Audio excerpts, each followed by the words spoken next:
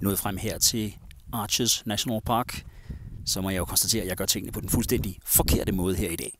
Ved blandt andet at være her midt på dagen, hvor der faktisk er relativt varmt. Til gengæld så kan jeg så glæde mig over, at, at det kun er midten af maj måned, så derfor så er temperaturen til at have med at gøre.